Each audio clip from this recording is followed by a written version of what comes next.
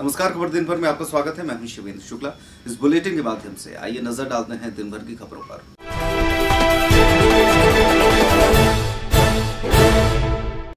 नमस्कार, खबर दिन भर में आपका स्वागत है। मैं हूँ Shivendra Shukla. Akhil Bharatiya SN Banerjee football tournament के इस बावनवें फुटबॉल महाकुंभ में अब रोमांच बिल्कुल चरमोत्कर्ष पर पहुँच रहा है। पाँचवें दिन सेमीफाइनल मैच थे और सेमीफाइनल मैच में दूसरा मैच जो खेला गया, उसमें खेल की बिल्कुल हाइट तक पहुँच चुका था। दरअसल इस पूरे 90 मिनट के खेल में दोनों टीमें बराबरी पर रही। उसके बाद पेनल्टी शूट आउट भी किया गया, जिसमें दोनों ने पाँच पाँच गोल दागे। लेकिन इसके बाद फिर आर्मी हैदराबाद की टीम, जो कि विगत वर्ष की चैंपियन है, उसने छठवां गोल दाग कर जीत दर्ज की। नगर पालिका परिषद छतरपुर द्वारा आयोजित किए जा रहे इस S L Banerjee football tournament में पहला semifinal youth football club Haldwani और डीएफए बालाघाट के बीच में खेला गया। इस रोमांचक मैच में भी यूथ फुटबॉल क्लब हल्द्वानी ने एक शून्य से जीत दर्ज की। इसके बाद दूसरा मैच तो मानो इस खेल के चरमोत्कर्ष पर पहुँच गया और लोग सांस रोककर इस खेल को देखते रहे। आर्मी हैदराबाद, जो कि विगत वर्ष की चैंपियन थी और उसका मुकाबला city football club Gondia, Maharashtra से हुआ। आर्मी हैदराबाद ने ये मैच छह पाँच से जीता और अब फाइनल मुकाबला यूथ फुटबॉल क्लब हल्द्वानी और आर्मी हैदराबाद के बीच में देखने को मिलेगा। कार्यक्रम में अतिथि के तौर पर अधिवक्ता संघ अध्यक्ष एडवोकेट राजेंद्र शर्मा और अन्य अधिवक्ता गण भी मौजूद रहे। बावनवे S N Banerjee football tournament का ये पांचवा दिन है। आज दो सेमीफाइनल मैच खेले गए हैं। पहला सेमीफाइनल मैच जो हुआ वो youth football club Haldwani versus DFA Balaghat, Madhya Pradesh के बीच में खेला गया, जिसमें एक ज़ीरो से हल्द्वानी ने विजेत होकर फाइनल में प्रवेश कर लिया है। दूसरा सेमीफाइनल मैच अभी प्रारंभ किया गया है। दूसरा सेमीफाइनल मैच विगत वर्ष की जो विजेता टीम रही है हमारी आर्मी हैदराबाद, उसका city football club Gondia, Maharashtra के बीच में खेला जा रहा है। इस मैच से जो टीम जीतेगी, वो फाइनल में प्रवेश करेगी। ये बावनवा अखिल भारतीय बनर्जी टूर्नामेंट हमारे शहर छतरपुर में आयोजित किया जा रहा है। नगर पालिका द्वारा निश्चित तौर पर नगर पालिका बहुत ही साधुवाद एवं धन्यवाद की बात है कि ऐसे टूर्नामेंट हमारे शहर में होते रहना चाहिए, जिससे जनता का मनोरंजन हो, साथ ही शहर का हमारे पूरे देश में नाम हो। तो यहाँ पे जितने भी टीमें आ रही हैं, जो भी दर्शक यहाँ आ रहे हैं, उन सबको मेरी ओर से, अधिवक्ता संघ की ओर से बहुत बहुत शुभकामनाएँ बहुत बहुत बधाई।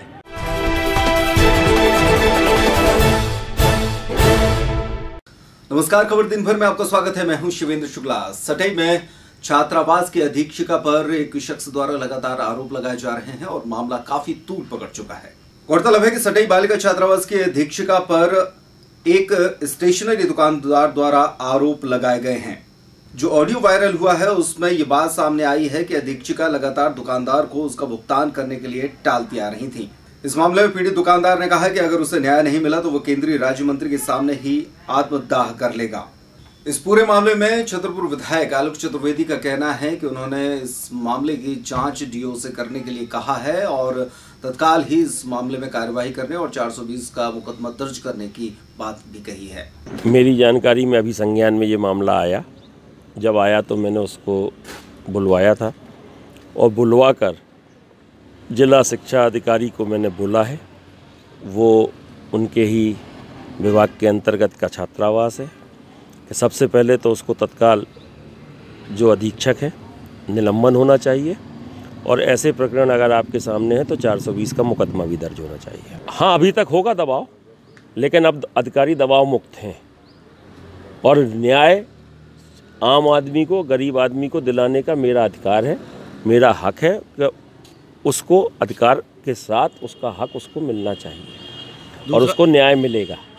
वहीं डीपीसी ने भी इस पूरे मामले की जाँच के निर्देश दे दिए हैं और उनका कहना है कि जैसे ही जाँच पूरी होती है इस पर कार्रवाई की जाएगी।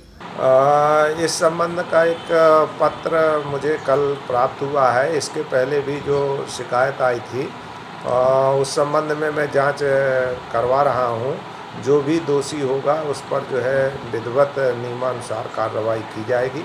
इसमें किसी प्रकार की कोई लापरवाही नहीं बरती कब से ये कार्रवाई शुरू हो जाएगी? क्या? अ, मैंने तो जो है इसमें से कल ही निर्देश दे दिए हैं और शीघ्र ही जो है हमारा दल इस संबंध में जो है कार्रवाई करके जो है इस छात्रावास में काफ़ी गमन भी हुआ है चेकें भी उनने दी हैं जो भी आपके द्वारा जो है बताया जा रहा है इस सभी का जो है मैं जाँच करवा लेता हूँ।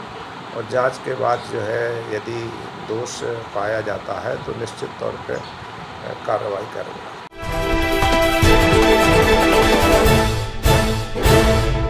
नमस्कार, खबर दिन भर में आपका स्वागत है। मैं हूँ शिवेंद्र शुक्ला। संत रविदास जयंती धूमधाम से मनाई गई। महोबा रोड पर स्थित अनुसूचित जाति, जनजाति बालक छात्रावास से एक शोभा यात्रा निकाली गई, जिसमें ढोल नगाड़ों के साथ कुछ नृत्य की टोलियाँ भी चल रही थी, जिसमें युवा नृत्य करते नज़र आ रहे थे और उसके बाद शहर के चक्कर लगाते हुए मेला ग्राउंड पर ये शोभा यात्रा संपन्न हुई। बड़ी संख्या में संत रविदास की इस शोभा यात्रा के अवसर पर लोग मौजूद रहे। संत रविदास जी की 642 जयंती के उपलक्ष्य में हर वर्ष की भांति इस वर्ष भी संत रविदास जी की जयंती निकाली गई। जो महोबा रोड ऐसी छात्रावास से प्रारंभ होकर बस स्टैंड, चौक बाज़ार महलों होते हुए, डाकखाने होते हुए मेला ग्राउंड में समापन होगी। हज़ारों की संख्या में हमारे सभी अहरवार समाज के साथीगण उपस्थित हैं। सभी को मैं धन्यवाद देना चाहता हूँ, सभी को बधाई देना चाहता हूँ। सफल कार्यक्रम। संतों की रैली से हर समाज के अंदर एक न कहीं ना कहीं मैसेज जाता है कि संतों ने हर समय उस क्षेत्र में काम किया कि हर समाज, हिंदू समाज का एक जो अलग अलग तबका है, वो एक होकर एक राह पे चले और उनके संदेश पे चले।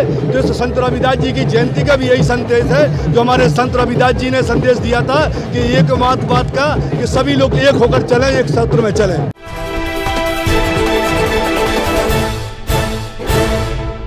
नमस्कार, खबर दिन भर में आपका स्वागत है। मैं हूँ शिवेंद्र शुक्ला। एक दिन पहले चंदला के पूर्व विधायक आर डी प्रजापति द्वारा कांग्रेस के संरक्षण में रेत खनन की बात उठाई गई थी और उन्होंने एक ज्ञापन भी सौंपा था। उनका कहना था कि कांग्रेस द्वारा रेत खनन किया जा रहा है चंदला क्षेत्र में। रेत के अवैध उत्खनन के मामले में कांग्रेस पर आरोप लगाए जाने पर विधायक आलोक चतुर्वेदी ने कहा कि जो चोर होता है, वही सबसे ज़्यादा हल्ला मचाता है। उन्होंने पुरानी फ़िल्म का ज़िक्र करते हुए कहा कि चोर मचाए शोर, और यही वजह है कि आर डी प्रजापति जब विधायक थे, तब उन्होंने उस क्षेत्र में रेत का अवैध उत्खनन कराया था, और अब भी उनके बेटे द्वारा यही काम चंदला क्षेत्र में कराया जा रहा है। ये हालत वो है, चोर मचाए शोर। एक फ़िल्म देखी होगी, बहुत पुरानी थी। जो खुद चोर है, वो हल्ला मचाता है। कि अपने काम को किस तरह से हम सही ठहराएँ। आप चले जाइए, वहाँ पता लगा लीजिए, कई जगह पर ये स्वयं इनके पुत्र, इनके पूर्व के संरक्षण, आपने नाम सुना होगा एक रुद्र पटेल का नाम। वो कहाँ कहाँ, कैसी कैसी जगह काम कर रहे हैं, आप पता लगा लीजिए, वो काम कर रहे हैं। और जो ये संलिप्तता कांग्रेस विधायकों की बता रहे हैं तो ये तथ्य प्रमाण सामने ला के बताएँ कि कांग्रेस विधायकों की ये संलिप्तता है तो भाई इनके आरोप मानने को तैयार हूँ। सिंडिकेट सिंडिकेट तो बनता है ठेकेदारों का सिंडिकेट तो बनता है उनका व्यवसायियों का सिंडिकेट विधायकों का नहीं बनता है। और सिंडिकेट ये भाजपा में चलता रहा होगा कांग्रेस के ज़माने में नहीं चलता है ये। इस मामले में कांग्रेस जिलाध्यक्ष मनोज त्रिवेदी ने भी कांग्रेस का बचाव करते हुए कहा है कि बिना किसी सबूत के आर डी प्रजापति बेवजह आरोप लगा रहे हैं। देखिए, आप सभी लोगों को विदित है, जैसे माननीय आर डी प्रजापति जी ने अपना विरोध दर्ज किया है तो हम लोगों ने अवैध उत्खनन बंद कराया है। अवैध उत्खनन उनके ही चालू थे, और उन्होंने अपनी सरकार के टाइम पर भी जाकर वहाँ पर धरने प्रदर्शन वहाँ पर करते रहे, और स्वयं यहाँ पर उनके बेटे द्वारा अवैध उत्खनन कराया जाता रहा। हम लोग भी प्रशासन से मांग करेंगे किसी भी प्रकार का अवैध उत्खनन नहीं हो।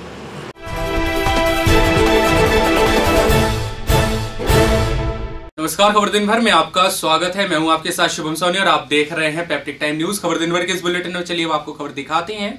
छतरपुर शहर की, जहाँ छतरपुर शहर के रजक समाज के इकाई के द्वारा एक कार्यकर्ताओं के साथ में संत गाड़गे महाराज जी की जयंती को बड़े ही हर्ष उत्साह के साथ मनाया गया। आइए दिखाते हैं आपको पूरी खबर विस्तार से तस्वीरों के साथ।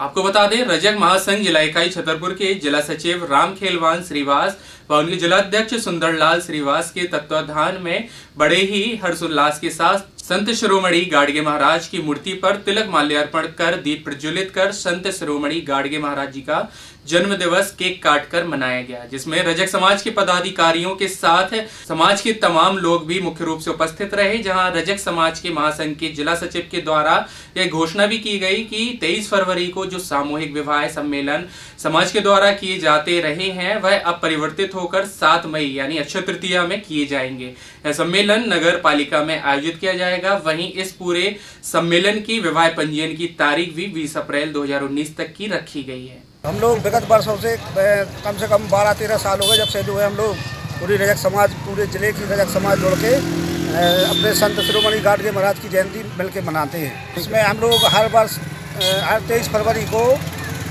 अपने समाज के सामूहिक विवाह करते हैं। और संत गाडगे जी महाराज की जयंती मनाते हैं।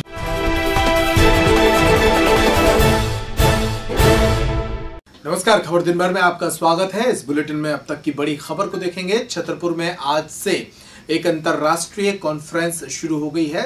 छतरपुर के श्री कृष्णा यूनिवर्सिटी में ये कॉन्फ्रेंस शुरू हुई है, जिसमें देश और दुनिया के कई जाने माने विद्वान विभिन्न विषयों पर चर्चा कर रहे हैं। इस कॉन्फ्रेंस का विषय है पर्यावरणीय चुनौतियों से कैसे निपटा जाए। खासतौर पर बुंदेलखंड की परिस्थिति और बायोडाइवर्सिटीज इश्यूज़ पर ये पूरी कॉन्फ्रेंस आयोजित की गई है, जिसमें गाँव की संस्कृति, भारत की प्राचीन संस्कृति पर भी विद्वान अपने मत रख रहे हैं। ये दो दिनों तक चलने वाली कॉन्फ्रेंस है। पहले दिन इसका शुभारंभ हुआ और गाँव से जुड़े, भारतीय संस्कृति से जुड़े कई विषयों पर विद्वानों ने अपनी राय रखी। इस पहले पहले दिन की इस कॉन्फ्रेंस में कलेक्टर मोहित बुंदस, हमीरपुर सांसद पुष्पेंद्र सिंह चंदेल सहित कई विद्वान पहुँचे। देखिए, आज जो कृष्णा विश्वविद्यालय छतरपुर में, ये जो, इस समय जो सबसे नितांत आवश्यक जो बात है कि पर्यावरण के बिगड़ रहे संतुलन को लेकर के पूरा देश और दुनिया चिंतित है, उसको लेकर के आज जो यहाँ पर कॉन्फ्रेंस है, उसमें पूरे देश और दुनिया के बड़े विद्वान लोग यहाँ पर एकत्रित हुए हैं। बहुत ही सभी अपने अपने सब्जेक्ट के एक्सपर्ट्स यहाँ पर हैं। तो मैं समझता हूँ बुंदेलखंड के लिए नहीं पूरे देश के लिए ये बहुत एक कोई ना कोई फ्रूटफुल एक वो निकल के आएगा सामने से। मेरा मानना ये था कि जो हम लोगों का जो परंपरागत ज्ञान के साथ में है हमारे यहाँ तक्षशिला और ना, नालंदा विश्वविद्यालय उस जमाने में थे जब दुनिया के लोग विश्वविद्यालय शब्द नहीं जानते थे। और उसके बाद हमारे यहाँ के शोध और हमारे यहाँ के धर्म ग्रंथ उपनिषदों वेदों पुराणों से जो जो बिल्कुल प्रूव्ड चीज़ें थी उसको दुनिया में ले जाकर के लोगों ने अपना डंका बजाने का काम किया होगा लोगों ने। लेकिन हमारा जो देश का जो ज्ञान है, हम लोग विश्वगुरु थे। तो आज का जो जो ये चर्चा थी, ये कृष्णा विश्वविद्यालय इस बात के लिए बधाई का पात्र है कि इतनी जल्दी, इतने बड़े वृहद टॉपिक पर एक विश्व स्तरीय एक यहाँ पर जो आज कॉन्फ्रेंस हुई है, वो इसकी पूरे बुंदेलखंड के लोग उसको आत्मसात करें। देखिए, पर्यावरण का जो संतुलन जो बिगड़ रहा है, उसका कारण है। जो ग्लोबल वार्मिंग की जो बात पूरी दुनिया में जो चल रही है, वो एक बहुत बड़ा उसका कारण है। जो डिफॉरेस्टेशन हो रहा है, उस पर रोक लगनी चाहिए। और इसके लिए जब तक देश का किसान और आम नागरिक कदम नहीं बढ़ाएगा, तब तक ये काम पूरा होने की संभावना वैसे नहीं हो सकती। सरकार जो काम कर रही है, बहुत श्रेष्ठ काम कर रही है। और जिस स्तर पर सरकार ने काम किया है, वो उसका एक जीता जागता नमूना भी इलाहाबाद का कुंभ है। वहाँ पर पाँच, साढ़े पाँच करोड़ लोग एक दिन में डुबकी लगाते हैं। सुबह वो फ्रेश होने जाते हैं। दिन में चार बार उनको शौचालय की आवश्यकता है, कहीं पर उनको स्नान करना है, कहीं कपड़े धोने हैं। आप वहाँ देख सकते हैं, पूरे कुंभ मैदान में, मेला मैदान में, एक मक्खी और एक मच्छर आपको नहीं मिल सकती। और उसका जो वेस्ट है, वो नदी में नहीं गया। वो जिस प्रकार से ये जो मोदी जी और योगी जी के नेतृत्व में उत्तर प्रदेश सरकार ने जो करके दिखाया है, पूरी दुनिया के कोई, हर कंट्री के लोग वहाँ आकर के रिसर्च कर रहे हैं। वहाँ पर मैं जाके उन लोगों से मिला। पूरी दुनिया के प्रतिनिधि वहाँ पर थे। वहाँ के पर्यावरण के जो एक्सपर्ट्स हैं, वो वहाँ पर थे। और इस बात को देख करके अचंभित थे कि रिवर बेड पर साढ़े पाँच करोड़ लोगों को मैनेज करना, उनका भोजन बनना, उनका रहना, उनका नहाना, किस प्रकार से हो सकता है, उन्होंने कहा, निश्चित रूप से एक वर्ल्ड के लिए बहुत बड़ा मॉडल है। तो मैं समझता हूँ, जो जो खेती की आपने जो सूखे की जो बात की है, वृक्षों का कटान रुकेगा। हमारे यहाँ जो जिस प्रकार से लोग वो करेंगे। ग्लोबल वार्मिंग की जो हम लोग बात कर रहे हैं, धीरे यूरो टू से यूरो फोर फाइव की तरफ़ हम लोग बढ़ रहे हैं और सोलर पैनल से इलेक्ट्रिफिकेशन का काम भी धीरे धीरे हो रहा है, विद्युत उत्पादन का काम हो रहा है। तो बीजेपी गवर्नमेंट ने वर्तमान में आपने देखा पूरी दुनिया को लीड किया है। श्री कृष्णा यूनिवर्सिटीज के पुष्पेंद्र गौतम और ब्रजेंद्र सिंह गौतम ने इस पूरी कॉन्फ्रेंस का आयोजन किया है और इस आयोजन में दो दिनों तक देश और दुनिया के कई विद्वान यहाँ पहुँचेंगे। सर हम बुंदेलखंड में रहते हैं और बुंदेलखंड गाँव का गाँव से जुड़कर बना हुआ है। जी। क्योंकि हम ग्रामीण का जो पलायन हो रहा है शहर की ओर और शहर में आकर के भी हम वापस ग्रामीण परिवेश को अपना रहे हैं उसको दिखाने के लिए हमारे विश्वविद्यालय के फाइनेट डिपार्टमेंट के स्टूडेंट और फैकल्टी ने चले गाँव की ओर कॉन्सेप्ट जो महामहिम राज्यपाल महोदय जी की इच्छा रहती है उस तर्ज पे हमने अपनी यूनिवर्सिटी में बच्चों को गाँव के बारे में और गाँव की थीम से परिचित कराने के लिए इस प्रकार के ये प्रदर्शनी का आयोजन किया है। एक्चुअली बुंदेलखंड बहुत ही सूखा प्रभावित जिला और क्षेत्र रहा है। हमेशा से ही बुंदेलखंड में पानी का बड़ा संकट रहा है और पर्यावरणीय जो तनाव और पर्यावरण में जो परिवर्तन हुए हैं, उसमें कहीं न कहीं हमारे बुंदेलखंड की कृषि व्यवस्था चौपट हुई है। क्योंकि बुंदेलखंड कृषि प्रधान क्षेत्र है और यहाँ पर पूरा जो पूरा इकोनॉमी है वो एग्रीकल्चर पर डिपेंड करता है। इसलिए यहाँ पर पर्यावरण के क्षेत्र में काम करना बहुत आवश्यक था, क्योंकि ये बुंदेलखंड का एकमात्र निजी विश्वविद्यालय है। तो हम अपने विश्वविद्यालय के माध्यम से पर्यावरण के क्षेत्र में एक जागरूकता लाना चाहते हैं और पर्यावरण में कैसे सुधार लाए जाएँ, इस दिशा में हम काम करना चाहते हैं, जिसके लिए हमने देश विदेश से व भारत देश के विभिन्न राज्यों से प्रबुद्ध जनों को आमंत्रित किया है। उसके वो थ्रेस पॉइंट पर पहुँचेंगे और उसके निष्कर्ष पर हम बाद में कुछ अच्छे निर्णय विश्वविद्यालय में रिसर्च शुरू हो चुके हैं पीएचडी स्कॉलर्स हैं। बाहर से भी vice chancellor pro vice chancellor registrar delegates व आमंत्रित सदस्य आए हुए हैं। लगभग नौ राज्यों के और चार देशों के लोग यहाँ पर पधारे हुए हैं। अपने अपने विचार प्रस्तुत करेंगे। विदेश हमसे आगे कैसे? जैसे हम कहते हैं विदेश विदेश क्या है? फॉरनर जो हम मानते हैं ना कि इंडिया से फॉरनर कहीं अच्छे हैं, कई कई देश अच्छे हैं, जो इंडिया से कई आगे हैं तो वो वहाँ पर इन्वायरमेंट कैसा है, वो अपने इन्वायरमेंट के बारे में यहाँ अपने अनुभव साझा करेंगे और उनके अनुभवों के आधार पर हम उनसे क्या गेन प्राप्त कर सकते हैं, वो हम देखेंगे। इंटरनेशनल सेमिनार है, जिसमें इन्वायरमेंटल चैलेंजेस और स्ट्रेसेस के ऊपर डिस्कशन होना है। और काफ़ी रिनाउंड लोग आए हैं जो कि अपने इनपुट्स यहाँ देंगे। बेसिकली बायोडाइवर्सिटी लॉस और लैंड डिग्रेडेशन एयर पोल्यूशन और वाटर इश्यूज़ के ऊपर डिस्कशन होगा। और उनका ह्यूमंस पे क्या इम्पैक्ट है उसके ऊपर बात होगी। तो मेरा सबसे मैंने ये आग्रह भी किया है कि अगर कुछ इम्प्लीमेंटेबल पॉइंट्स निकल के आते हैं जो लोकल रेलिवेंस के हों तो हमें एडमिनिस्ट्रेशन को भी बताएँ। तो हम उस तरीके से अपने एग्जीक्यूशन को शेप अप करेंगे। बुंदेलखंड का भी पिछड़ा क्षेत्र है। ऐसे में ये सेमिनार कितना कारगर साबित होगा? काफ़ी कारगर साबित होगा क्योंकि हमारे यहाँ पर एक वाटर इशू का प्रॉब्लम हमेशा रहा है और वो इन्वायरमेंटल एंगल से जुड़ा हुआ है। तो मुझे लगता है कि कुछ अच्छे सुझाव निकल के आएँगे, जिससे हमें भी, हमारा भी ज्ञान बढ़ेगा और हम उसको इम्प्लीमेंटेशन प्रोसेस में लेके आ पाएँ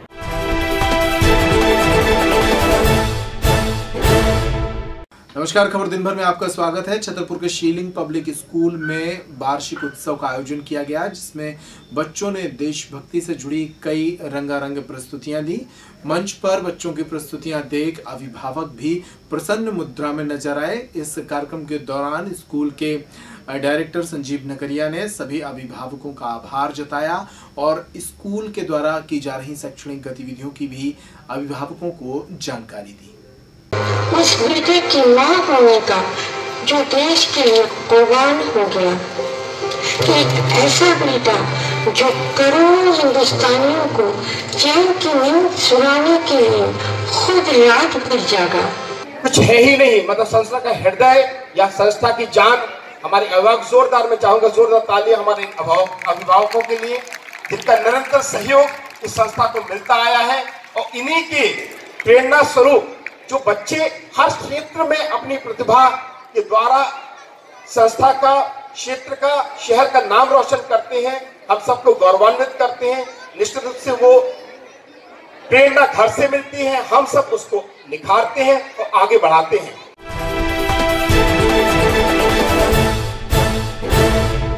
नमस्कार, खबर दिन भर में आपका स्वागत है इस बुलेटिन में खबर नौगांव से, जहाँ निस्वार्थ सेवा समिति और श्रीमद भागवत कथा सेवा समिति के द्वारा एक सामूहिक विवाह सम्मेलन का आयोजन किया गया, जिसमें छह निर्धन परिवार की बेटियों के विवाह संपन्न कराए गए। बेटियों को कई सामाजिक कार्यकर्ताओं ने एकजुट होकर उपहार, भेंट किए। कार्यक्रम के दौरान शहर के अनेक गणमान्य नागरिक भी यहाँ मौजूद रहे। समिति और निस्वार्थ सेवा समिति के द्वारा जो चलिए बैठा लिए। सभी जोड़ों को बैठा लें वर्ष बच्चियों को दाएँ बैठा लें। बच्चियों को दाएँ बैठा लें। ठीक है।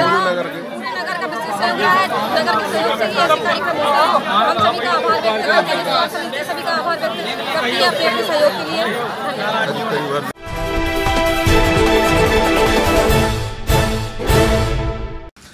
नमस्कार, खबर दिन भर में आपका स्वागत है। मैं हूँ शिवेंद्र शुक्ला। इन दिनों छतरपुर ज़िले में पिछले तीन चार दिनों से सटई की छात्रावास की अधीक्षिका का मुद्दा गरमाया हुआ है। इस मामले में केंद्रीय मंत्री के संरक्षण की बात भी सामने आई है। वहीं दुकानदार से बातचीत का ऑडियो भी लगातार वायरल हो रहा है।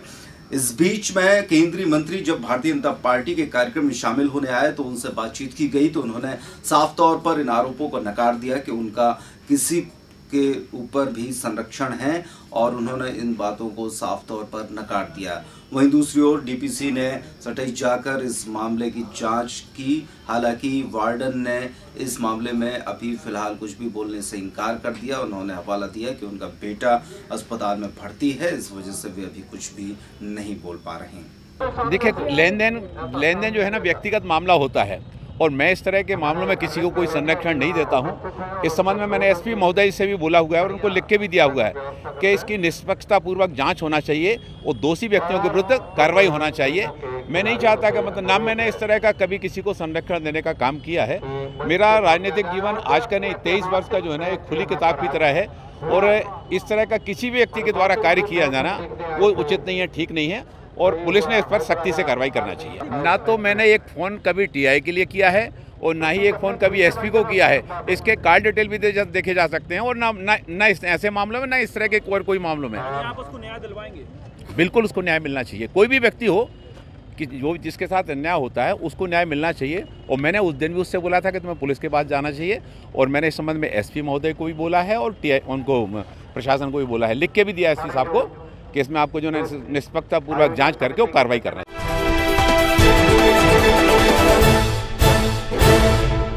नमस्कार, खबर दिन भर में आपका स्वागत है। मैं हूँ शिवेंद्र शुक्ला। एक शिक्षक की याद में होने वाला अखिल भारतीय संत बनर्जी फुटबॉल टूर्नामेंट रविवार को संपन्न हो गया। इस टूर्नामेंट में गत वर्ष की विजेता आर्मी हैदराबाद ने एक बार फिर से ट्रॉफी पर कब्जा किया और हल्द्वानी को दो एक से मात देकर विजयी ट्रॉफी अपने कब्जे में की। इस मौके पर केंद्रीय मंत्री वीरेंद्र कुमार, छतरपुर विधायक आलोक चतुर्वेदी नगर पालिका अध्यक्ष अर्चना सिंह सहित अन्य गणमान अतिथि मौके पर उपस्थित थे।